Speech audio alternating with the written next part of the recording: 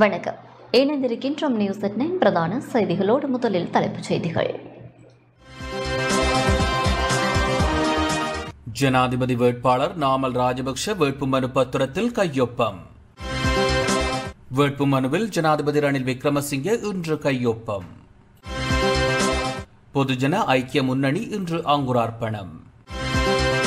தேர்தலில் யாருக்கு வாக்களிக்க வேண்டும் என்பதை மக்களிடமே விட்டுவிட வேண்டும் என சி வி கே சிவஞானம் கருத்து. முல்லைத்தீவு செஞ்சோலை படுகொலை நினைவேந்தல் அனுஷ்டிப்பு.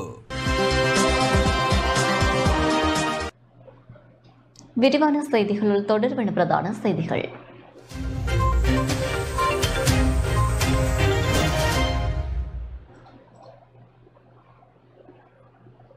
ஜனாதிபதி வேட்பாளர் நாமல் ராஜபக்ச வேட்புமனு பத்திரத்தில் கையொப்பமிட்டுள்ளார்.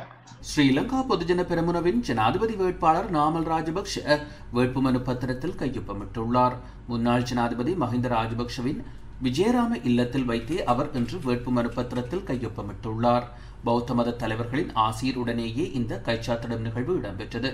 இந்த நிகழ்வில் ஸ்ரீலங்கா பொதுஜன பெருமனவின் ஸ்தாபகர் பஷில் ராஜபக்ஷ பொதுச் செயலாளரும் நாடாளுமன்ற உறுப்பினருமான சாகர காரியவசம் முன்னாள் ஜனாதிபதிகளான கோட்டாபய ராஜபக்ஷ மஹிந்த ராஜபக்ஷ மற்றும் கட்சியின் உறுப்பினர்கள் என பலரும் கலந்து கொண்டிருந்தனர். முன்னதாக ஸ்ரீலங்கா பொதுஜன பெருமனவின் ஜனாதிபதி வேட்பாளர் நாமல் ராஜபக்ஷ சார்பில் இன்று காலை கட்டுப்பணம் செலுத்தப்பட்டுள்ளது. இவரது சார்பில் ஸ்ரீலங்கா பொதுஜன பெருமனவின் பொதுச் செயலாளர் சாகர காரியவசம் கட்டுப்பணத்தை செலுத்தினார். அதனைத் தொடர்ந்து ஊடகங்களுக்கு கருத்து தெரிவித்த ஸ்ரீலங்கா பொதுஜன பெருமனவின் பொதுச் செயலாளர் சாகர காரியவசம். எதிர்வரும் ஜனாதிபதி தேர்தலில் போட்டியிடுவதற்கான வேட்புமனுவில் ஜனாதிபதி ரணில் விக்ரமசிங்கே இன்று கையொப்பமிட்டுள்ளார். கொழும்பு பிளவர் வீதியில் உள்ள அவரது அரசியல் அலுவலகத்தில் இந்நிகழ்வு இன்று இடம்பெற்றது. மகா சங்கத்தினர் பிரித் பாராயணம் செய்து ஜனாதிபதிக்கு ஆசீர்வாதம் வழங்கியதை அடுத்து ஏனைய மத தலைவர்களும் ஆசி வழங்கினர். பிரதமர் தினேஷ் குணவர்த்தன தலைமையில் அமைச்சர்கள் மற்றும் எதிர்வரும் ஜனாதிபதி தேர்தலில் ஜனாதிபதி ரணில் விக்ரமசிங்கவை ஆதரிக்கும் அரசியல் கட்சிகள் மற்றும் அமைப்புகளின் பிரதிநிதிகள் பலரும் இந்நிகழ்வில் கலந்து கொண்டனர். தேசிய ஜனநாயக முன்னணியின் ஜனாதிபதி வேட்பாளர் விஜயதாச ராஜபக்ஷ இன்று காலை வேட்புமனுவில் கையொப்பமிட்டுள்ளார். மகா சங்கத்தினரின் ஆசீர்வாதத்துடன் விஜயதாச ராஜபக்ஷ நாவலவில் உள்ள அவரது வீட்டில் வைத்து வேட்புமனுவில் கையொப்பமிட்டுள்ளார். சர்வஜன அதிகாரம் கூட்டணியின் ஜனாதிபதி வேட்பாளர் திலித் ஜாவீர தனது வேட்புமனுவில் கையொப்பமிட்டுள்ளார். பொரளையில் உள்ள மௌபிம ஜனதா கட்சி அலுவலகத்தில் இன்று காலை இடம்பெற்ற நிகழ்வின் போதே திலித் ஜெயவீர தனது வேட்புமனுவில் கையொப்பமிட்டுள்ளார். இதன்போது சர்வஜன அதிகாரத்தின் கட்சித் தலைவர்களான வாசுதேவ நாணயக்கார டியூ குணசேகர விமல் வீரவன்ச உதய கம்மன் பில கெவிந்து குமாரதுங்க உள்ளிட்ட பலர் கலந்து கொண்டனர். திலித் ஜேவியர ஜனாதிபதி தேர்தலில் நட்சத்திர சின்னத்தில் போட்டியிடுகின்றமை குறிப்பிடத்தக்கது. ஜனாதிபதி தேர்தலில் ஐக்கிய லங்கா பொதுஜன கட்சியின் சார்பில் ஜனக ரத்நாயக்க போட்டியிட தீர்மானித்துள்ளார். ஐக்கிய லங்கா பொதுஜன கட்சியின் செயலாளர் நிகால் பிரேமகுமார தேசப்பிரிய ஜனக ரத்நாயக்கவிற்கான கட்டுப்பணத்தை இன்று முற்பகல் செலுத்தினார். ஜனக ரத்நாயக்க பொது பயன்பாடுகள் ஆணைக்குழுவின் தலைவராக பணியாற்றியமை குறிப்பிடத்தக்கது. ஜனாதிபதி தேர்தலுக்கான வேட்புமனுக்கள் நாளைய தினம் ஏற்றுக்கொள்ளப்பட உள்ளன. எதிர்வரும் ஜனாதிபதி தேர்தலுக்கான வேட்புமனுக்களை ஏற்றுக்கொள்ளும் நடவடிக்கைகள் நாளை காலை ஒன்பது மணிக்கு ஆரம்பமாகி முற்பகல் பதினோரு மணி வரை நடைபெறவுள்ளது. இந்த நிலையில் தேர்தல் ஆணைக்குழு மற்றும் அதனை அண்மித்த பகுதிகளில் விசேட பாதுகாப்பு வேலை திட்டம் முன்னெடுக்கப்பட உள்ளதாக பதில் போலீஸ் ஊடக பேச்சாளர் பிரதி போலீஸ் மாதிபர் ருவான் குணசக்கர தெரிவித்துள்ளார். பாதுகாப்பு கடமைகளுக்காக விசேட அதிரடிப்படையினர் உட்பட ஆயிரத்து முன்னூறுக்கும் மேற்பட்ட போலீசார் ஈடுபடுத்தப்பட உள்ளனர் எனவும் ராஜகிரிய பிரதேசத்தில் நாளை காலை எட்டு மணி முதல் பிற்பகல் இரண்டு மணி வரை விசேட போக்குவரத்து திட்டம் அமல்படுத்தப்பட உள்ளதாகவும் ருவான் குணசேகர தெரிவித்துள்ளார். பொதுஜன ஐக்கிய முன்னணி இன்று அங்குரார்ப்பணம் செய்து வைக்கப்பட்டது.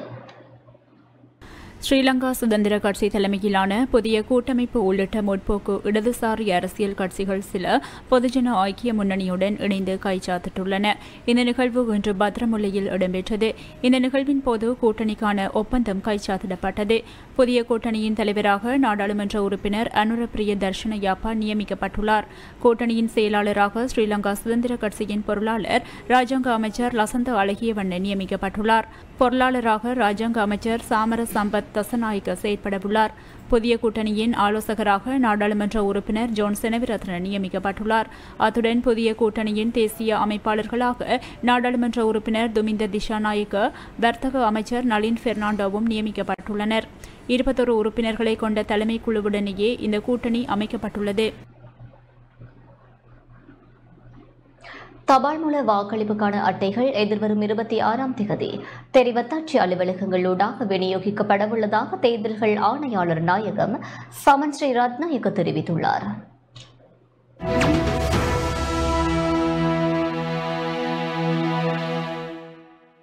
தபால் மூல வாக்களிப்புக்கான அட்டைகள் எதிர்வரும் இருபத்தி ஆறாம் தேதி தெரிவத்தாட்சி அலுவலகங்கள் ஊடாக விநியோகிக்கப்பட உள்ளதாக தேர்தல்கள் ஆணையாளர் நாயகம் சமன் ஸ்ரீ ரதநாயக்க தெரிவித்துள்ளார் தேர்தல்கள் ஆணைக்குழுவில் இன்று இடம்பெற்ற ஊடகவியலாளர் சந்திப்பின் போதே அவர் இதனை தெரிவித்துள்ளார் විෂම තැබෙන සලකුණු කිරීම දිස්ත්‍රික් ලේකම් කාර්යාලය සහ පොලිස් දෙපාර්තමේන්තුව நாளை காலை ஒன்பது மணி முதல் முற்பகல் பதினோரு மணி வரை வேட்புமனுக்கள் ஏற்றுக்கொள்ளப்பட உள்ளது. காலை ஒன்பது மணி முதல் பதினொன்று முப்பது மணி வரை ஆட்சேபனைகளை ஏற்பதற்கான கால அவகாசமும் வழங்கப்பட்டுள்ளது. அத்துடன் தபால் மூல வாக்களிப்பு அட்டைகள் எதிர்வரும் இருபத்தி ஆறாம் தேதி மாவட்ட தெரிவர்த்தாட்சி அலுவலகங்கள் ஊடாக விநியோகிக்கப்படும். மாவட்ட செயலக தேர்தல் அலுவலக உத்தியோகஸ்தர்கள் மற்றும் போலீசாருக்காக செப்டம்பர் நான்காம் தேதி தபால் மூல வாக்களிப்புக்காக சந்தர்ப்பம் வழங்க தீர்மானிக்கப்பட்டுள்ளது. ஏனைய அரசு ஊழியர்கள் ஐந்து மற்றும் ஆறாம் திகதிகளில் தபால் மூல வாக்குகளை அளிக்க சந்தர்ப்பம் ஏற்படுத்தி கொடுக்கப்பட்டுள்ளது இந்த இரு நாட்களிலும் வாக்களிக்க முடியாதவர்கள் செப்டம்பர் மாதம் பதினொன்று மற்றும் பனிரெண்டாம் தேதிகளில் தமது தேர்தல் மாவட்டத்தின் மாவட்ட செயலகங்களுக்கு சென்று தபால் மூல வாக்களிப்பை மேற்கொள்ள முடியும் අතිකරම නිල්ධාරය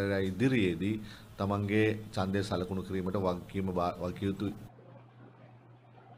ஜனாதிபதி தேர்தலுக்கான தபால் மூல வாக்குப்பதிவு நடைபெறும் திகதிகள் அறிவிக்கப்பட்டுள்ளன நடைபெறவுள்ள ஜனாதிபதி தேர்தலுக்கான தபால் மூல வாக்குப்பதிவு நடைபெறும் தேதிகளை தேர்தல்கள் ஆணைக்குழு அறிவித்துள்ளது. ஜனாதிபதி தேர்தலுக்கான தபால் மூல வாக்குச்சீட்டுகளை தபால் திணைக்களத்திற்கு வழங்குதல் மற்றும் வாக்குச்சீட்டு விநியோகம் என்பன எதிர்வரும் இருபத்தி ஆறாம் தேதி இடம்பெறும் என ஆணைக்குழு தெரிவித்துள்ளது. செப்டம்பர் மாதம் நான்கு ஐந்து ஆறு ஆகிய தேதிகளில் தபால் மூல வாக்குப்பதிவு நடைபெறும் என தேர்தல்கள் ஆணைக்குழு அறிவித்துள்ளது. மாவட்ட செயலகம் தேர்தல் அலுவலகங்கள் மற்றும் போலீஸ் உத்தியோகத்தர்களுக்கான தபால் மூல வாக்குப்பதிவு செப்டம்பர் நான்காம் தேதி நடைபெறவுள்ளது. தபால் மூலம் வாக்களிக்க கோரிய ஏனைய தரப்பினருக்கு செப்டம்பர் ஐந்து மற்றும் ஆறு ஆகிய இரண்டு நாட்கள் ஒதுக்கப்பட்டுள்ளன. குறித்த தினங்களில் தபால் மூலம் வாக்களிக்க தவறியவர்களுக்காக செப்டம்பர் பதினோராம் மற்றும் பன்னிரெண்டாம் திகதிகள் மேலதிகமாக ஒதுக்கப்பட்டுள்ளதாகவும் தேர்தல்கள் ஆணைக்குழு அறிவித்துள்ளது.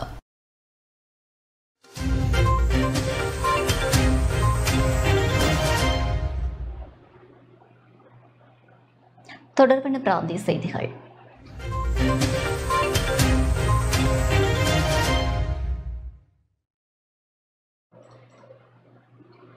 எதிர்வரும் ஜனாதிபதி தேர்தலில் யாருக்கு வாக்களிக்க வேண்டும் என்பதை மக்களிடமே விட்டுவிட வேண்டும் என வடக்கு மாகாண சபை அவைத் தலைவர் சி வி கே சிவஞானம் தெரிவித்துள்ளார். தமிழ் தரப்பு ஆதரிக்கும் வேட்பாளர் தேர்தலில் தோல்வியடைவார் எனவும் அதனால் எதிர்வரும் ஜனாதிபதி தேர்தலில் யாருக்கு வாக்களிக்க வேண்டும் என்பதை மக்களிடமே விட்டுவிட வேண்டும் எனவும் வடக்கு மாகாண சபை அவைத் தலைவர் சி வி கே சிவஞானம் தெரிவித்துள்ளார். இன்று யாழ்ப்பாணத்தில் ஊடக சந்திப்பை நடத்திய வேளை இவ்வாறு குறிப்பிட்டார். தமிழரசு கட்சியினுடைய கடந்த மத்திய செயற்குழு கூட்டத்தில் நான் மிக முக்கியமான ஒரு விஷயத்தை தெரிவித்தேன் நாங்கள் ஒரு வேட்பாளரை தனித்து ஆதரிக்க கூடாது என்ற முடிவைத்தான் நான் கட்சி மத்திய செயற்குழுக்க முன் வச்சிருக்கேன் குறிப்பாக அதுக்கு முக்கிய காரணம் எந்த ஒரு வேட்பாளரை நாங்கள் கைகாட்டுகிறோமோ அவர் தோற்பார்ன்றது. ரெண்டாயிரத்தி அஞ்சில் கூட நாங்கள் ரண ரணிலுக்கு தான் ஆதரவான நிலைப்பாட்டில் இருந்தோம். பின்னர் அது பயிஸ்கரிப்பண்ட நிலையில் மாறினாலும் கூட ரணில் தோத்தது தான் இப்போ நாங்கள் ஆதரிக்கக்கூடியவர்கள் அநேகமாக தென்னிலங்கை அதை வச்சு தமிழர்களுக்கு சாதகமாக நாட்டை வைக்க போகிறோன்ற நிலைப்பாட்டில் தோற்கக்கூடிய வாய்ப்பு தான் இந்த முறையும் சஜித் வந்து எங்களோட கதைச்சிட்டு போகிற அடுத்த நாளே அங்கே இனவாதம் கக்கப்பட்டிருக்கிறது. மக்களுக்கு இன்றைக்கு எல்லாம் தெரியும். மக்களை ஒன்றும் தெரியாது. நாங்கள் சொல்லித்தான் மக்கள் வாக்களிப்பார் என்ற நிலையில் நான் இல்லை. யாருக்கு வாக்களிக்கின்ற முடிவை கட்சியை பொறுத்தவரையில் பொதுவாக என்ற கருத்து அதுதான். மக்களிடமே விட்டுவிட வேண்டும். நாங்கள் தனி நபரை தனி வேட்பாளரை சுட்டி காட்டி சிபாரிசு செய்ய அதை தவிர்க்க வேண்டும் என்ற நிலைப்பாட்டை நான் மத்திய செயற்குழுவில் தெரிவிச்சிருக்கேன் வாக்களிப்பது என்பது ஜனநாயக உரிமை. வாக்களிக்க வேணும். நான் பகிஷ்கரிப்பு ஆதரவானவள் இல்லை. இன்னொரு கை காட்டி அவர் தோற்றால் அதுக்கு பிறகு மற்றவர்களை பேசுறதோடு சிக்கலான நிலையாக தான் இருக்கும். அது இயல்கை அதனுடைய நாங்கள் ஃப்ரீயாக இருப்போம். மத்திய செயற்குழு மீண்டும் பதினெட்டாம் தேதி கூடுது. பதினெட்டாம் தேதி சில நேரம் ஒரு முடிவுக்கு வரக்கூடியதாக இருக்கும். போக மனதான முடிவு வரதுக்கான வாய்ப்புகள் இல்லை. நாங்கள் எல்லாரும் ஆண்டவரம்பரு அது இதெல்லாம் பேசிக்கொண்டு இருக்கிறோம் கடந்த நானூறு வருடத்துக்கு மேலான வரலாற்றில் இருக்கிற மந்திரிமனை பாழடைஞ்சு சிதைஞ்சு அநேகமாக கொட்டுன்ற நிலைமையில் தான் இருக்குது இப்போ. இப்போ இதை நாங்களும் தான் எல்லாம் முயற்சிச்சு நாங்கள் அதை ஏதாவது வகையிலே அதை பழைய நிலையிலேயே அதை பராமரிக்கிறது. அப்போ இவ்வளோ கெதியாக துரிதமாக செய்யணும் அதுக்கு ஏற்கனவே தொல்லியல் கணக்கில் தான் திட்டம் தயார். துரிதமாக நாங்கள் பெற்று செய்ய வேணும். இப்போ நிதி ஒரு பிரச்சனையாக இருக்குது இங்கே நிலத்திலையும் புலத்திலையும் இருக்கக்கூடிய ஆர்வமுள்ள தமிழ் தேசிய உணர்வு உள்ளவர்கள் தங்களால் இருந்தக்கூடிய உதவியை செய்து அந்த திட்டத்தை பூர்த்தி செய்யறதுக்கான உதவியை செய்ய வேணும். சங்கிலியனுடைய ஆட்சியை பேசிக்கொண்டு இருக்கிற ஒரே ஒரு நினைவு சின்னம் அது. அது அழிஞ்சு போக விடக்கூடாதுன்றாலே எல்லாருக்கும் உடன்பாடு இருந்தது எங்களுக்கும் இருந்தது. வரலாற்று சின்னத்தை பாதுகாக்கிறதுக்கு எல்லாரும் பங்களிக்க வேணும் என்ற ஒரு கோரிக்கையை நான் பணிவாக முன்வைக்க முல்லைத்தீவு செஞ்சோலை படுகொலை நினைவேந்தல் நிகழ்வு இன்று செஞ்சோலையில் இடம்பெற்றது. முல்லைத்தீவு செஞ்சோலை படுகொலையின் பதினெட்டாம் ஆண்டு நினைவேந்தல் நிகழ்வு இன்று செஞ்சோலையில் இடம்பெற்றது. புதுக்குடியிருப்பு வள்ளிப்படம் கிராமத்தில் அமைந்திருந்த செஞ்சோலை வளாகத்தில் கடந்த இரண்டாயிரத்தி ஆறாம் ஆண்டு ஆகஸ்ட் மாதம் பதினான்காம் திகதி இலங்கை விமானப்படையினால் மேற்கொள்ளப்பட்ட விமான தாக்குதலில் பாடசாலை மாணவிகள் ஐம்பத்தி மூன்று பேர் உட்பட அறுபத்தோரு பேர் படுகொலை செய்யப்பட்டனர். அந்த வகையில் படுகொலை செய்யப்பட்டவர்களின் நினைவேந்தல் நிகழ்வு வள்ளிப்பணம் பகுதியில் அமைந்துள்ள இடைக்கட்டு சந்தி பகுதி மற்றும் விமான தாக்குதல் இடம்பெற்ற செஞ்சோலை வளாகம் அமைந்திருந்த பகுதியில் இடம்பெற்றது.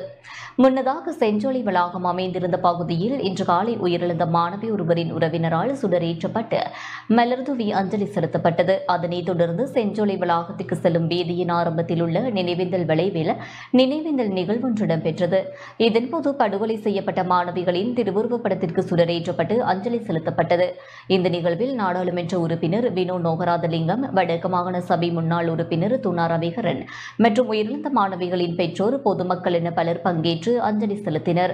விமான தாக்குதலில் இரண்டாயிரத்தி ஆறாம் ஆண்டு செஞ்சோலை சிறுவர்கள் வளாகத்தில் முதலுதவி பயிற்சிக்காக தங்கி நின்ற மாணவிகளில் ஐம்பத்தி மூன்று மாணவிகள் கொலை செய்யப்பட்டதுடன் நூறுக்கும் மேற்பட்ட மாணவிகள் படுகாயமடைந்தமை குறிப்பிடத்தக்கது. முல்லைத்தீவு செஞ்சோலை படுகொலை நினைவேந்தல் இன்றைய தினம் அனுஷ்டிக்கப்பட்டது. நினைவேந்தல் நிகழ்வு வான் தாக்குதல் இடம்பெற்ற இடத்தில் தாக்குதல் இடம்பெற்ற நேரத்தில் அனுஷ்டிக்கப்பட்டுள்ளது. உயிரிழந்த உறவுகளுக்கு சுடரேற்றி அகவணக்கம் செலுத்தி மலர்தூவி அஞ்சலி செலுத்தப்பட்டது. அஞ்சலி நிகழ்வில் வடமாகாண சபை முன்னாள் உறுப்பினர் துரைராசா ரவிகரன் பொதுக்குடியிருப்பு பிரதேச சபையின் முன்னாள் உறுப்பினர் எஸ் குகன் பொதுமக்கள் சமூக செயற்பாட்டாளர்கள் என பலர் கலந்து கொண்டனர். முல்லைத்தீவு செஞ்சொலியில் படுகொலை செய்யப்பட்ட சிறுவர்களின் பதினெட்டாவது ஆண்டு நினைவு நாள் வவுனியாவிலும் இன்று அனுஷ்டிக்கப்பட்டது. வவுனியா வலிந்து காணாமல் ஆக்கப்பட்டோரின் உறவினர்கள் சங்கத்தால் அஞ்சலி நிகழ்வு முன்னெடுக்கப்பட்டது. வவுனியா பிரதான தபாலகத்திற்கு அருகாமையில் உள்ள காணாமல் ஆக்கப்பட்டோரின் உறவினர்களது போராட்ட கொட்டகையில் அஞ்சலி நிகழ்வு இடம்பெற்றது. வான் தாக்குதலில் உயிரிழந்தவர்களின் புகைப்படங்களுக்கு அஞ்சலி செலுத்தப்பட்டது. செஞ்சோலை படுகொலையின் பதினெட்டாம் ஆண்டு நினைவேந்தல் இன்று பிற்பகல் யாழ்ப்பாணம் முனியப்பர் கோயில் முன்றலில் இடம்பெற்றது. தமிழ் தேசிய மக்கள் முன்னணியின் ஏற்பாட்டில் உயிரிழந்தவர்களின் நினைவாக பொதுச்சுடர் ஏற்றப்பட்டு மலரஞ்சலி செலுத்தப்பட்டது. இதில் நாடாளுமன்ற உறுப்பினர் செல்வராசா கஜேந்திரன் தமிழ் தேசிய மக்கள் முன்னணியின் மகளிர் அணி தலைவி வாசுகி சுதாகரன் கட்சி உறுப்பினர் மற்றும் பொதுமக்கள் பங்கேற்றனர். நாற்பத்தெட்டாம் ஆண்டிலிருந்து அரங்கேற்றி வருகின்ற இனப்படுகொலையினுடைய ஒரு அங்கமாக இந்த படுகொலையும் நடந்தேறி இருந்தது இந்த படுகொலைகள் நடைபெற்று பதினெட்டு ஆண்டுகள் கடந்த போதும் கூட இன்று வரைக்கும் இந்த படுகொலைக்கான நீதி கிடைக்கவில்லை. இவ்வாறான இனப்படுகொலைகள் எதிர்காலத்தில் இடம்பெறாமல் எங்களை தற்காத்துக் கொள்வதற்கான ஒரு அரசியல் அதிகாரத்தை நாங்கள் பெற்றுக்கொள்ளுகின்ற இந்த உரிமைக்கான போராட்டத்தை எங்களுடைய எதிர்கால சந்ததி உணர்வோடு இதனை முன்கொண்டு செல்ல வேண்டும். பயங்கரவாத தடைச்சட்டம் உடனடியாக நீக்கப்பட வேண்டும் என்பதையும் நாங்கள் வலியுறுத்தி கேட்டுக்கொள்கின்றோம். எதிர்காலத்திலாவது சரியான முடிவுகளை எங்களுடைய மக்கள் எடுக்கவில்லை என்று சொல்லி சொன்னால் இப்பொழுது வளர்ந்து கொண்டிருக்கிற இந்த சிறார்கள் கூட மிக கொடூரமான ஒரு சூழலுக்குள் அவர்களுடைய எதிர்காலமும் செல்லும் என்பதனை நாங்கள் பொறுப்போடு சுட்டிக்காட்டிக் கொள்ள விரும்புகிறோம். காணாமல் போனோர் பற்றிய அலுவலகம் கிளிநொச்சியில் இருநூற்றி நாற்பத்தி மூன்று பேரிடம் பூர்வாங்க விசாரணைகளை மேற்கொண்டுள்ளது. காணாமல் போனோர் பற்றிய அலுவலகம் கிளிநொச்சி மாவட்டத்தின் நான்கு பிரதேச செயலக பிரிவுகளையும் சேர்ந்த இருநூற்று நாற்பத்தி மூன்று பேரிடம் பூர்வாங்க விசாரணைகளை மேற்கொண்டது. நேற்று கரைச்சி பிரதேச செயலக பிரிவில் நூற்று இருபத்தெட்டு பேரிடமும் பச்சளைப்பள்ளி பிரதேச செயலக பிரிவில் பதினேழு பேரிடமும் விசாரணை மேற்கொண்டிருந்தது. இன்றைய தினம் பூநகரி பிரதேச செயலக பிரிவைச் சேர்ந்த ஐம்பது பேரிடம் பூநகரி பிரதேச செயலகத்திலும் கண்டாவளி பிரதேச செயலக பிரிவைச் சேர்ந்த நாற்பத்தெட்டு பேரிடம் கண்டாவளி பிரதேச செயலகத்திலும் விசாரணை மேற்கொண்டது. கண்ணாமலை பிரதேச செயலகத்தில் காணாமல் போன ஆட்கள் பற்றிய அலுவலகத்தின் தவிசாளர் மகேஷ் கட்டுலந்த தலைமையில் விசாரணை முன்னெடுக்கப்பட்டது.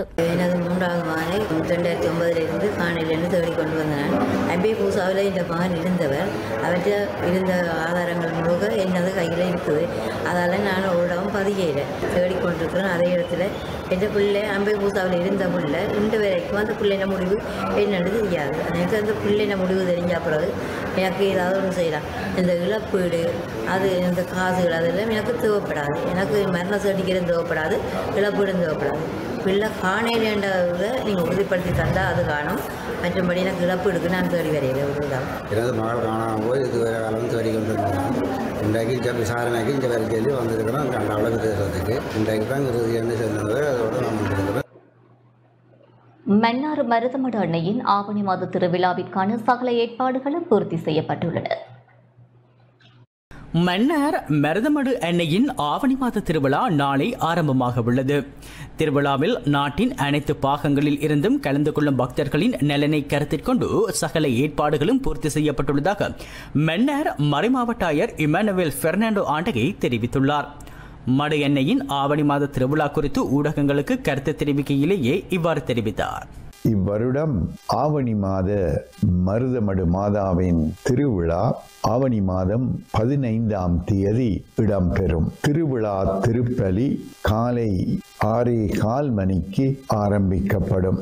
இம்முறை நாங்கள் வளமை போல் போக்குவரத்து அதேபோல் பாதுகாப்பு நீர் வசதிகள் மின்சார வசதிகள் இவைகளை எல்லாம் சரியான விதத்தில் திருப்பயணிகள் பயன்பெறும் வகையில் நாங்கள் ஆயத்தமாக்கி இருக்கின்றோம் எனவே திருவிழா திருப்பலியை இவ்வருடம் ஸ்லாப மறைமாவட்ட ஆயர் பேரருட் கலாநிதி விமல் சிறி ஜாயசூரிய ஆண்டகை தலைமையிலே நானும் மற்றும் மன்னார் மறைமாவட்ட குருமுதல்வர் ஏனைய அருட்தந்தையர்கள் அத்தோடு வெளி மறைமாவட்டங்கள் துறவிகள் இவைகள் அனைத்தையும் சார்ந்த அருட்பணியாளர்களும் இந்த கூட்டு திருப்பலியில் கலந்து கொள்ளுவார்கள். உங்கள் அனைவரையும் திருவிழா திருப்பலிக்கு அன்போடு வரவேற்று நிற்கின்றோம். திருவிழா திருப்பலி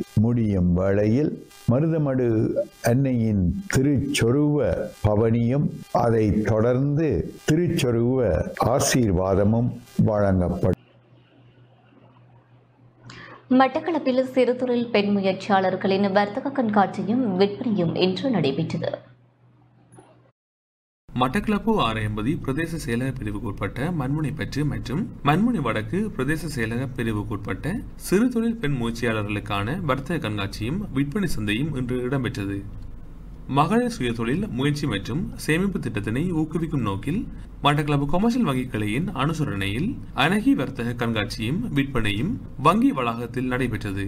நிகழ்வில் ஐடிபி நிறுவன உத்தியோகஸ்தர்கள் கொமர்ஷியல் வங்கியின் கிழக்கு மாகாண முகாமையாளர் மற்றும் மட்டக்களப்பு பிராந்திய முகாமையாளர்கள் வங்கி வாடிக்கையாளர்கள் வங்கி உத்தியோகஸ்தர்கள் ஊழியர்கள் மகளிர் சுயதொழில் முயற்சியாளர்கள் என பலரும் கலந்து கொண்டனர். நுவரெலியா தலவாக்கலை மேல்கொத்மலை நீர்த்தேக்கத்திலிருந்து இன்று இளைஞர் ஒருவரின் சடலம் மீட்கப்பட்டுள்ளது. தலவாக்கலை மேல்கொத்மலை நீர்த்தேக்கத்திலிருந்து இளைஞனின் சடலம் இன்று மதியம் மீட்கப்பட்டதாக தலவாக்கலை போலீசார் தெரிவித்தனர். மேல்கொத்மலை நீர்த்தேக்கத்தில் மிதந்த நிலையில் அப்பகுதி மக்களால் சடலம் அவதானிக்கப்பட்டு போலீசாருக்கு தகவல் வழங்கப்பட்டதைத் தொடர்ந்து சடலம் மீட்கப்பட்டதாகவும் போலீசார் குறிப்பிட்டனர். சம்பவத்தில் தலவாக்கலை மேற்பிரிவு தோட்ட பகுதியைச் சேர்ந்த இருபத்தி நான்கு வயதான டி. மதுஜான் என்பவரை சடலமாக மீட்கப்பட்டுள்ளதாக அடையாளம் காணப்பட்டுள்ளார். சடலம் சட்ட வைத்திய அதிகாரியின் பிரேத பரிசோதனைக்காக நுவரெலியா வைத்தியசாலைக்கு அனுப்பி வைக்கப்பட்டுள்ளதாக தெரிவித்த போலீசார் சம்பவம் தொடர்பில் மேலதிக விசாரணைகளை மேற்கொண்டு வருகிறார். வருகின்றனர் இதேவேளை சடலமாக மீட்கப்பட்ட இளைஞன் நேற்று முன்தினம் காணாமல் போனதாக தலவாக்கலை போலீஸ் நிலையத்தில் நேற்று முறைப்பாடு செய்யப்பட்டமை குறிப்பிடத்தக்கது.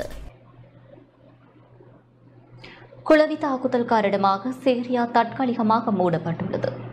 குளவி தாக்குதல் காரணமாக உள்ளூர் மற்றும் வெளிநாட்டு சுற்றுலா பயணிகளின் நலன் கருதி சிகிரியா தற்காலிகமாக மூடப்பட்டுள்ளது. இன்று பிற்பகல் குளவி தாக்குதலுக்கு இலக்கான வெளிநாட்டவர்கள் உட்பட இருபத்தி ஐந்து சுற்றுலா பயணிகள் வைத்தியசாலையில் அனுமதிக்கப்பட்டனர்.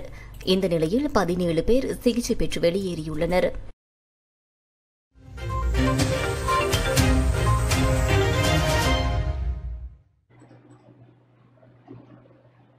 ஜனாதிபதி ரணில் விக்ரமசிங்க எதிர்வரும் ஜனாதிபதி தேர்தலில் போட்டியிட தகுதியற்றவர் என தீர்ப்பளிக்குமாறு கோரி அடிப்படை உரிமை மனு ஒன்று தாக்கல் செய்யப்பட்டுள்ளது.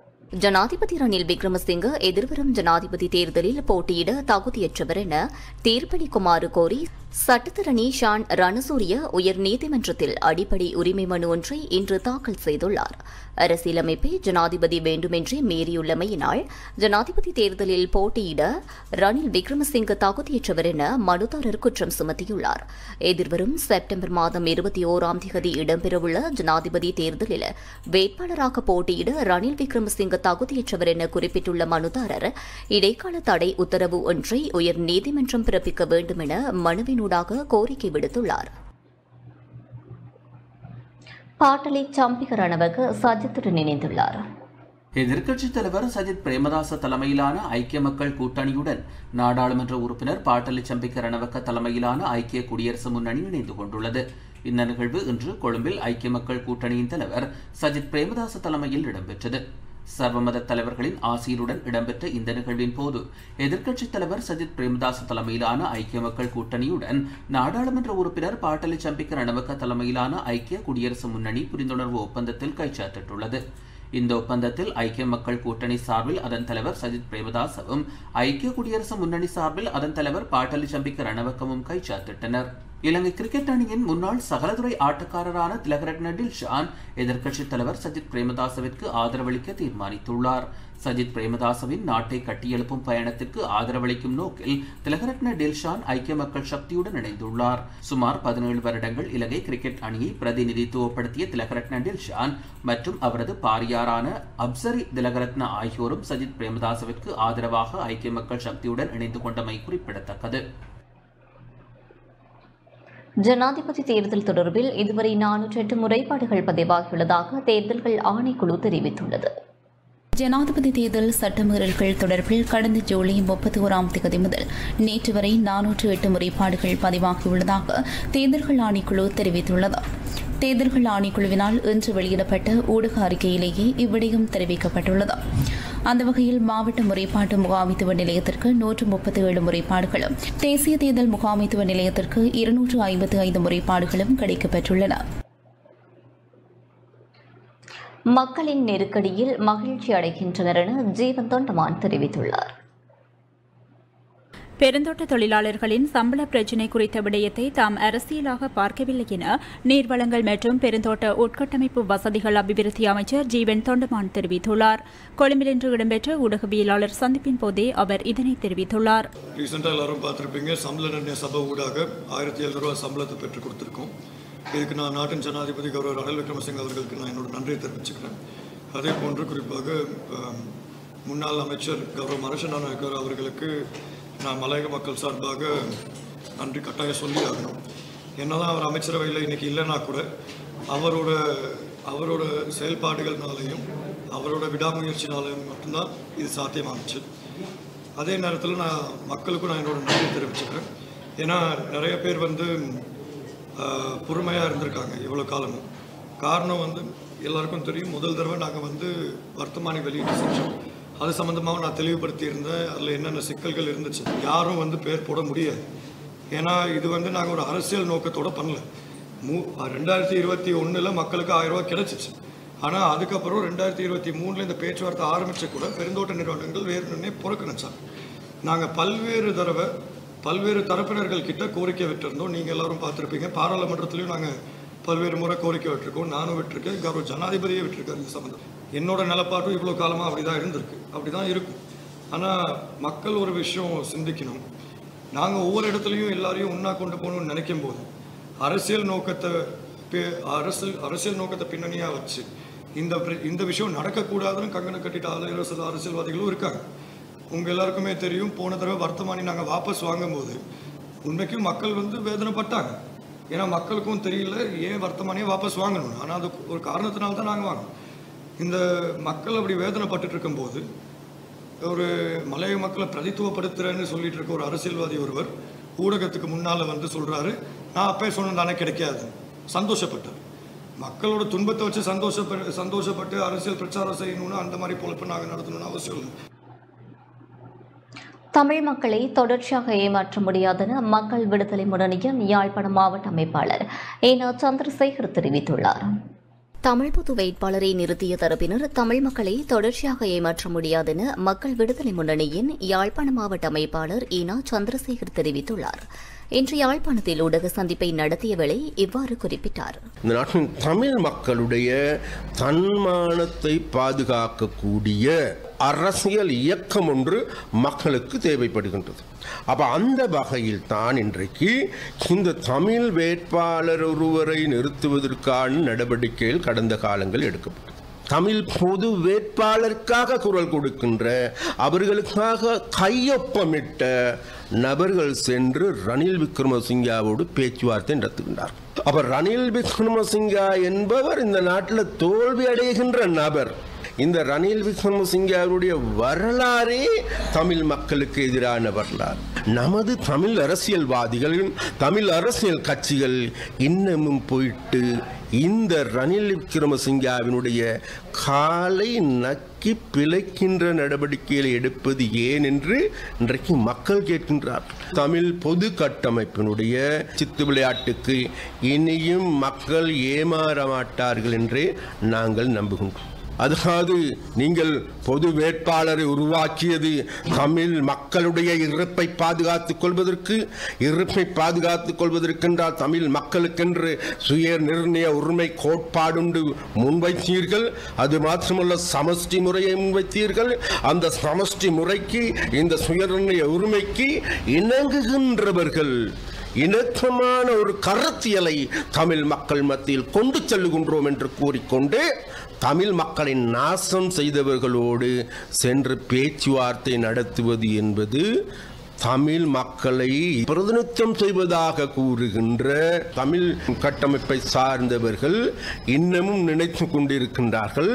இவர்கள் தமிழ் மக்களை பற்றி பேசுகின்ற பொழுது தமிழ் தேசியத்துவத்தை மாத்திரம் பேசுகின்ற போது இன்னமும் அவர்கள் போடுகின்ற தாளத்துக்கு ஏற்ப ஆடுவார்கள் என இவர்கள் நம்பிக்கொண்டிருக்கின்றார்கள். புரியாத புதிர்களை போடுகின்ற தமிழ் அரசியல்வாதிகள் ஒன்றை விளங்கிக் கொள்ள வேண்டும் சதா காலமும் தமிழ் மக்களை ஏமாற்ற முடியுமா? முடியாது. ஜனாதிபதி தேர்தலை புறக்கணிக்குமாறு கோரி யாழ்ப்பாணம் நகர் பகுதியில் இன்று துண்டு பிரசுரங்கள் விநியோகிக்கப்பட்டன. ஜனாதிபதி தேர்தலை புறக்கணிக்குமாறு கோரி தமிழ் தேசிய மக்கள் முன்னணியினால் யாழ்ப்பாணம் நகர் பகுதியில் இன்று துண்டு பிரசுரங்கள் விநியோகிக்கப்பட்டன. தமிழ் தேசிய மக்கள் முன்னணியின் பொதுச் செயலாளரும் நாடாளுமன்ற உறுப்பினருமான செல்வரசா கஜேந்திரன் மற்றும் கட்சி உறுப்பினர்கள் துண்டு பிரசுரங்களை வழங்கி மக்களுக்கு தெளிவுபடுத்தல்களை வழங்கியுள்ளனர். தமிழர்களுக்கு வழங்கப்பட்ட வாக்குறுதிகளின் அடிப்படையில் அவர்களுடைய அரசியல் பிரச்சனைகளும் தீர்க்கப்படவில்லை அரசியல் உரிமைகள் வழங்கப்படவில்லை அபிவிருத்தி தேவைகளும் நிறைவு செய்யப்படவில்லை அன்றாட பிரச்சனைகளும் தீர்த்து வைக்கப்படவில்லை என்பது மட்டுமல்ல தமிழர்கள் மீது ஒரு தொடர்ச்சியான கட்டமைப்பு சார் இனஅழிப்பு செயல்பாடுகளையும் தீவிரமாக முன்னெடுத்தே வந்திருக்கின்றார்கள். யுத்தம் முடிவடைந்து பதினைந்து வருடங்கள் கடந்துள்ள நிலைமையிலும் எங்களுக்கு எதிரான ஒடுக்குமுறைகள் தீவிரப்படுத்தப்படுகின்றதை தவிர எங்களுக்குரிய உரிமைகள் வழங்கப்படவில்லை. எங்களுடைய தேசம் திட்டமிட்ட ரீதியிலே கபலீகரம் செய்யப்படுகிறது. இந்த நிலைமைகளுக்கு நாங்கள் முகம் கொடுத்து கொண்டிருக்கின்ற வேளையில் இப்பொழுது ஒரு தேர்தல் வந்திருக்கிறது. இந்த தேர்தலிலே வளைமை போன்று வாக்குறுதிகளை வழங்கி ஏமாற்றுகின்ற நாடகத்திலே சிங்கள பௌத்த வேட்பாளர்கள் ஈடுபட்டிருக்கின்றார்கள். இது ஒரு மிகச்சிறந்த சந்தர்ப்பம் மிகச்சிறந்த ஒரு ஆயுதம் ஒரு ஜனநாயக ஆயுதம். இதை நாங்கள் சரியான முறையிலே துணிச்சலோடு நாங்கள் இந்த இடத்திலே முடிவுகளை எடுத்து பேரம் பேசுவதன் ஊடாக இதுவரைக்கும் நீடித்துக் கொண்டிருக்கின்ற இந்த அவல வாழ்வுக்கு நாங்கள் ஒரு முற்றுப்புள்ளி வைக்க முடியும். அந்த வகையில் இந்த தேர்தலை நாங்கள் புறக்கணிக்க வேண்டும் என்று ஒட்டுமொத்தமான தமிழ் தேசத்து மக்களை மக்களையும் கோருகின்றோம். குடிசன வீட்டு வசதிகள் தொகை மதிப்பு தொடர்பான செயலமர்வு கிளிநொச்சியில் இடம்பெற்றது. குடிசன வீட்டு வசதிகள் தொகை மதிப்பு கணக்கெடுப்பின் மூன்றாம் கட்ட பணிகள் தொடர்பான செயலமர்வு இன்று கிளிநொச்சி இடம்பெற்றது. நாடளாவிய ரீதியில் பதினைந்தாவது குடிசன வீட்டு வசதிகள் தொகை மதிப்பு கணக்கெடுக்கும் பணிகள் இடம்பெற்று வருகின்றன. அதற்கு மைய மூன்றாம் கட்ட பணிகள் இடம்பெற்ற நிலையில் நிர்வாக உயர்மட்ட உத்தியோகத்தர்களுடன் கலந்துரையாடப்பட்டது. குறித்த செயலமர்வில் புள்ளி விபரவியல் மற்றும் தொகை மதிப்பு திணைக்கள உதவி பணிப்பாளர் குமாரி பிரேமலதா கிளிநொச்சி மாவட்ட பதில் அரசாங்க அதிபர் எஸ் முரளிதரன் உதவி மாவட்ட செயலாளர் பிரதேச செயலாளர்கள் மாவட்ட செயலகம் மற்றும் பிரதேச செயலகங்களில் பணியாற்றும் பதவி நிலை உத்தியோகத்தர்கள் பங்கேற்றனர். சிலாபத்துறை புதுக்குடியிருப்பு பகுதியில் கடல் அட்டைகளுடன் சந்தேக நபர் ஒருவர் கைது செய்யப்பட்டுள்ளார். சிலாவத்துறை புதுக்குடியிருப்பு பகுதியில் கடற்படையினரும் போலீசாரும் இணைந்து நேற்று நடத்திய விசேட தேடுதல் நடவடிக்கையின் போது சட்டவிரோதமாக விற்பனைக்கு தயார் நிலையில் வைக்கப்பட்டிருந்த நானூற்று எண்பத்தி இரண்டு கடல் அட்டைகளுடன் சந்தேக நபர் ஒருவர் கைது செய்யப்பட்டுள்ளார். சட்டவிரோத மீன்பிடி நடைமுறைகளை தடுக்கும் நோக்கில் கடற்படையினர் தேடுதல் நடவடிக்கைகளையும் ரோந்து பணிகளையும் மேற்கொள்கின்றனர். இந்த நடவடிக்கையில் கைது செய்யப்பட்ட சந்தேக நபர் இருபத்தொன்பது வயதுடைய சிலாவத்துறையை சேர்ந்தவர் என அடையாளம் காணப்பட்டுள்ளதுடன் மேலதிக சட்ட நடவடிக்கைகளுக்காக சிலாவத்துறை போலீசாரிடம் ஒப்படைக்கப்பட்டமை குறிப்பிடத்தக்கது. மட்டக்களப்பு காத்தான்குடி பிரதான வீதியில் நேற்றிரவு இடம்பெற்ற மோட்டார் சைக்கிள் விபத்தில் இளைஞர் ஒருவர் உயிரிழந்துள்ளார். மட்டக்களப்பு காத்தான்குடி பிரதான வீதியில் நேற்றிரவு இடம்பெற்ற மோட்டார் சைக்கிள் விபத்தில் இளைஞர் ஒருவர் உயிரிழந்துள்ளதுடன் இரு இளைஞர்கள் படுகாயமடைந்துள்ளனர். காத்தான்குடி குட்வின் சந்தியிலிருந்து பிரதான வீதி வழியாக வேகமாக சென்ற மோட்டார் சைக்கிள் காத்தான்குடி ஆறாங்குறிச்சி மீரா பாலிகா தேசிய பாடசாலை சந்தியில் வைத்து விபத்திற்குள்ளாகியுள்ளது. விபத்தில் மோட்டார் சைக்கிளை செலுத்திய இளைஞன் சம்பவ இடத்திலேயே உயிரிழந்துள்ளார். உயிரிழந்த இளைஞன் காத்தான்குடி டீன் வீதியைச் சேர்ந்த இருபது வயதுடைய லக்ரான் சாஹி என்பவர் என போலீசார் தெரிவித்தனர். காயமடைந்த இளைஞர்கள் இருவரும் மட்டக்களப்பு போதனா வைத்தியசாலையிலும் காத்தான்குடி ஆதார வைத்தியசாலையிலும் அனுமதிக்கப்பட்டுள்ளனர். சம்பவம் தொடர்பில் காத்தான்குடி போலீசார் மேலதிக விசாரணைகளை முன்னெடுத்து வருகின்றனர். அம்பாறை சாய்ந்தமருது பகுதியில் பாரவூர்தி மற்றும் மோட்டார் சைக்கிள் மோதி இன்று விபத்து இடம்பெற்றுள்ளது. குறித்த இரு வாகனங்களும் நேருக்கு நேர் மோதிய விபத்து சம்பவித்துள்ளது. விபத்தில் நாற்பத்தி ஒரு வயதுடைய சம்மாந்துறை பகுதியைச் சேர்ந்த ஆப்தீன் நௌசாத் என்ற குடும்பஸ்தர் படுகாயமடைந்த நிலையில் கல்முனை அஷ்ரப் ஞாபகார்த்த வைத்தியசாலையில் சிகிச்சைக்காக அனுமதிக்கப்பட்டுள்ளார். சம்பவம் தொடர்பில் சாய்ந்தமருது போலீசார் மேலதிக விசாரணைகளை முன்னெடுத்து வருகின்றனர். வவுனியா நவகமுவ பகுதியில் முச்சக்கர வண்டியுடன் வேன் மோதி இன்று காலை விபத்து இடம்பெற்றுள்ளது. அனுராதபுரத்தில் இருந்து வவுனியா நோக்கி பயணித்த வேன் ஒன்றும் வவுனியாவிலிருந்து அனுராதபுரம் நோக்கி பயணித்த முச்சக்கர வண்டி ஒன்றும் நேருக்கு நேர் மோதி விபத்து இடம்பெற்றுள்ளதாக ஈரப்பெரியகுளம் போலீசார் தெரிவித்தனர். சம்பவத்தில் முச்சக்கர வண்டியின் சாரதி மற்றும் முச்சக்கர வண்டியில் பயணித்த இருவர் படுகாயமடைந்த நிலையில் வவுனியா பொது வைத்தியசாலையில் அனுமதிக்கப்பட்டுள்ளதாக எமது செய்தியாளர் தெரிவித்தார். விபத்து தொடர்பில் ஈரப்பெரியகுளம் போலீசார் விசாரணைகளை முன்னெடுத்துள்ளனர்.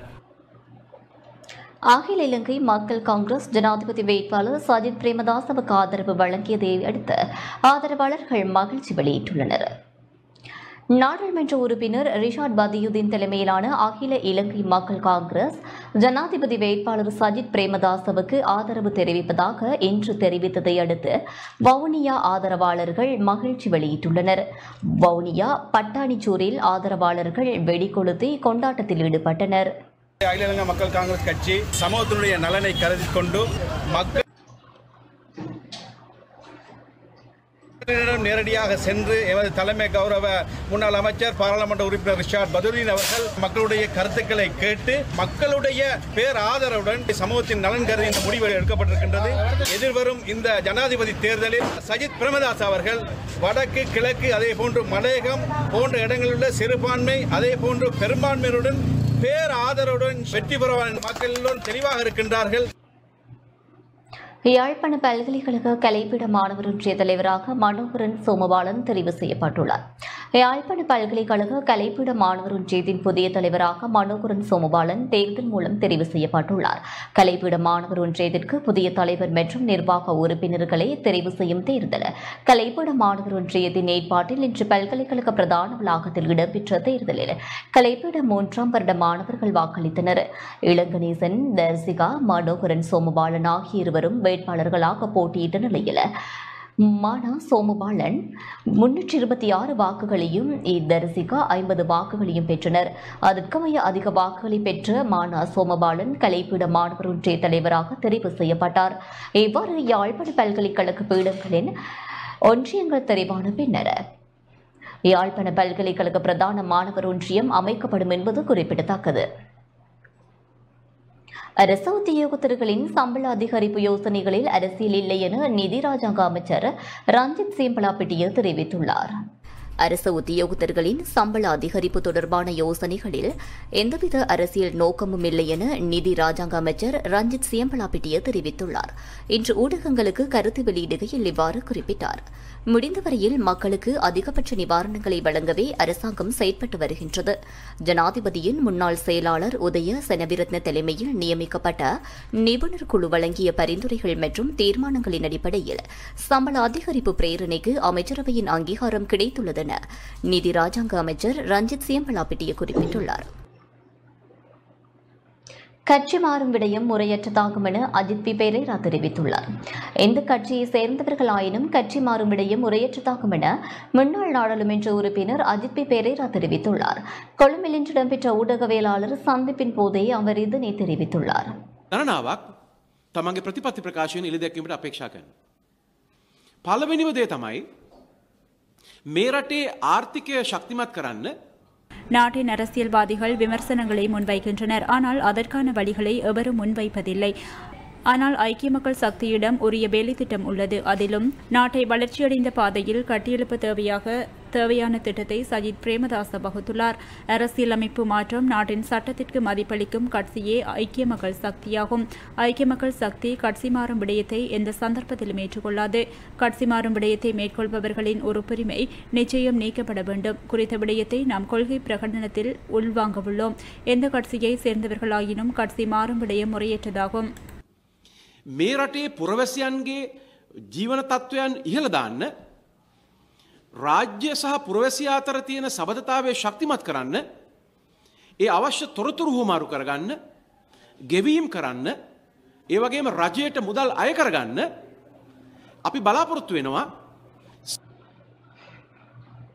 சர்வதேச சமூகத்துடன் செயற்படும் போது நல்லிணக்க செயற்பாடுகள் மிகவும் அவசியம் என நீதி அமைச்சர் அலி சாஃப்ரி தெரிவித்துள்ளார் சர்வதேச சமூகத்துடன் செயற்படும் போது நல்லிணக்க செயற்பாடுகள் மிகவும் அவசியம் எனவும் நாட்டின் எதிர்காலத்தை தீர்மானிப்பதில் நீதி அமைச்சின் செயற்பாடுகள் முக்கியமானவை எனவும் நீதி அமைச்சர் அலி சப்ரி தெரிவித்துள்ளார்.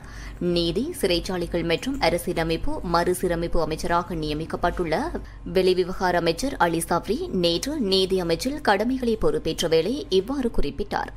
விரைவாக நிறைவு செய்யப்பட வேண்டிய நடவடிக்கைகளுக்கு முன்னுரிமை வழங்கி செயற்பட வேண்டும். வழக்கு விசாரணைகளை முடிப்பது மாத்திரமல்ல. நாட்டின் எதிர்காலத்தை தீர்மானிப்பதில் நீதி அமைச்சின் கடப்பாடுகள் முக்கியமானவையாகும். இரண்டாயிரத்தி இருபதாம் ஆண்டிலிருந்து நீதி அமைச்சின் நடவடிக்கைகளை வேகமாக முன்னெடுத்துச் சென்றோம். விசேடமாக சர்வதேச சமூகத்துடன் செயற்படும் போது நல்லிணக்க செயற்பாடுகள் மிகவும் அவசியமானவை என நீதி அமைச்சர் அலிசப்ரி சப்ரி குறிப்பிட்டுள்ளார். யாழ்ப்பாணம் போதனா வைத்தியசாலைக்கு மருந்து பொருட்கள் கையளிக்கப்பட்டுள்ளன. யாழ்ப்பாணம் போதனா வைத்தியசாலைக்கு பதினோரு மில்லியன் ரூபாய் பெறுமதியான மருந்து பொருட்கள் கையளிக்கப்பட்டுள்ளன. உமந்தவ சர்வதேச பௌத்த கிராமத்தின் சார்பில் ஸ்ரீ சமந்தபத்ர மகா ஆரோத் தேரரினால் மருத்துவ பொருட்கள் வைத்தியசாலை நிர்வாகத்திடம் கையளிக்கப்பட்டது. யாழ்ப்பாணம் போதனா வைத்தியசாலையில் இன்று மதியம் இடம்பெற்ற நிகழ்வில் வைத்தியசாலை யமுனா நந்தா கண் வைத்திய நிபுணர் மலரவன் யாழ்ப்பாண மாவட்ட பிரதி போலீஸ் மா அதிபர் காளிங்க ஜெயசிங்க யாழ்ப்பாண போலீஸ் நிலைய பொறுப்பதிகாரி மற்றும் வைத்தியசாலை உத்தியோகத்தர்கள் என பலர் பங்கேற்றனர். மட்டக்களப்பு பட்டிருப்பு வளைய பாடசாலைகளின் ஆசிரியர்களுக்கான விழிப்புணர்வு செயலமர்வு இன்று நடைபெற்றது. மட்டக்களப்பு பட்டிருப்பு வலைக்கல்வி பணிமனைக்கு உட்பட்ட பாடசாலைகளில் தரம் மூன்றில் கல்வி கற்பிக்கும் ஆசிரியர்களுக்கான விசேட வழிகாட்டல் விழிப்புணர்வு செயலமர்வு இன்று இடம்பெற்றது. பட்டிருப்பு வலய கல்வி பணிப்பாளர் எஸ். புவனேந்திரனின் வழிகாட்டுதலில் முகாமைத்துவத்திற்கு பொறுப்பான பிரதி கல்வி பணிப்பாளர் எஸ். தர்ச்சனாமூர்த்தி தலைமையில் செயலமர்வு நடைபெற்றது. வளவாளர்களாக முறைசாரா கல்வி பிரிவு இணைப்பாளர் திருமதி ரி கலைச்செல்வன் மற்றும் வழிகாட்டல் ஆலோசனை ஆசிரியர் ஆலோசகர் பாவனா துஷேந்தன் ஆகியோர் கலந்து கொண்டனர். சேலமருவில் கற்றல் இடர்பாடுடைய மெல்ல கற்கும் மாணவர்களை இனங்காணுதல் அவர்களுக்கான பரிகார கற்பித்தல் செயற்பாடுகளை மேற்கொள்ளல் வகுப்பறை முகாமைத்துவம் கற்றல் கற்பித்தல் நுட்பங்கள் தொழில்நுட்பம் என்பன தொடர்பில் விளக்கமளிக்கப்பட்டமை குறிப்பிடத்தக்கது. தனமல்வில பாடசாலை ஒன்றில் மாணவி ஒருவர் துஷ்பிரயோகத்திற்கு உட்படுத்தப்பட்ட சம்பவம் தொடர்பில் கைது செய்யப்பட்ட நான்கு சந்தேக நபர்களும் பிணையில் விடுதலை செய்யப்பட்டுள்ளனர். தனமல்வில பாடசாலையொன்றில் மாணவி ஒருவர் ஒரு வருட காலமாக துஷ்பிரயோகத்திற்கு உட்படுத்தப்பட்ட சம்பவத்தை மறைத்த குற்றச்சாட்டில் கைது செய்யப்பட்ட நான்கு சந்தேக நபர்களும் தலா இரண்டு லட்சம் ரூபாய் பெறுமதியான இரண்டு சரீர பிணையில் விடுதலை செய்யப்பட்டுள்ளனர். இந்த சம்பவம் தொடர்பில் குறித்த பாடசாலையின் அதிபர் பிரதி அதிபர் மற்றும் இரண்டு ஆசிரியர்கள் மாணவி துஷ்பிரயோகத்திற்கு உள்ளான சம்பவம் தொடர்பான விவரங்களை போலீசாரிடம் வழங்காமை தொடர்பில் நேற்று கைது செய்யப்பட்ட நிலையில் பிணை வழங்கப்பட்டுள்ளது. யாழில் இரு குழுக்களுக்கு இடையில் ஏற்பட்ட மோதலால் படகுகள் தீ வைத்து எரிக்கப்பட்டுள்ளன. யாழ்ப்பாணம் சேந்தான்குளம் பகுதியில் இரு குழுக்களுக்கிடையில் ஏற்பட்ட மோதல் காரணமாக மூன்று படகுகள் தீ வைத்து எரிக்கப்பட்டுள்ளன. இதில் ஒரு படகு முற்றாக சேதமடைந்துள்ளதாக தெரிவிக்கப்படுகிறது. குறித்த சம்பவம் நேற்றிரவு இடம்பெற்றுள்ளது. இதன்போது சில வாடிகளும் எரிந்து நாசமானது. தீ வைக்கப்பட்ட சம்பவத்தை அறிந்து அங்கு கூடிய பொதுமக்கள் தீப்பரவலை கட்டுப்பாட்டுக்குள் கொண்டு வந்தனர். சம்பவம் தொடர்பாக இதுவரை எவரும் கைது செய்யப்படாத நிலையில் இளவாளி போலீசார் விசாரணைகளை மேற்கொண்டு வருகின்றனர்.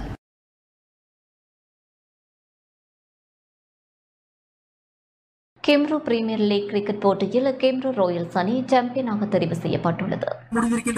இந்த ஆண்டுக்கான கெம்ரோ பிரீமியர் லீக் கிரிக்கெட் போட்டியில் கெம்ரோ ராயல்ஸ் அணி சாம்பியனாக தெரிவு செய்யப்பட்டுள்ளது.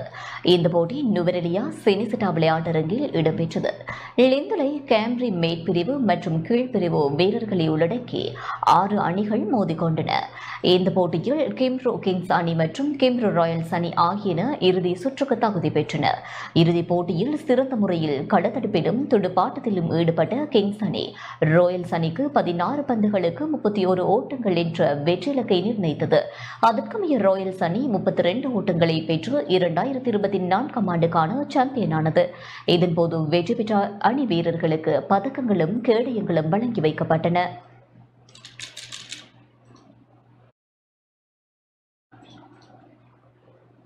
இத்துடன் இன்றைய நாளுக்கான பிரதான செய்திகள் யாவும் நிறைவு பெறுகின்றன. மீண்டும் நாளை காலை எமது பிரதான செய்திகளை எதிர்பாருங்கள். தொடர்ந்தும் டான்ஸ் செய்திகளோடு இணைந்திருங்கள். வணக்கம்.